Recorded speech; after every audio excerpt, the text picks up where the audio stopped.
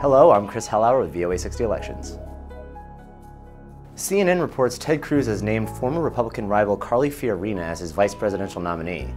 Cruz hopes by adding Fiorina as a running mate, the campaign will gain momentum to reach a contested Republican convention and stop Donald Trump from clinching the GOP nomination.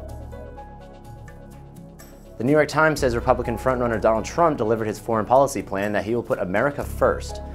He said his administration would support a major military buildup, the swift destruction of Islamic State militants, and reject trade deals that tied the nation's hands.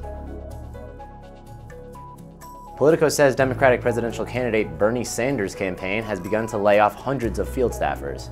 When asked if the move was coming from a position of weakness, the campaign communications director Michael Briggs said instead it was coming from a posture of reality. That's all for today. Thanks for watching.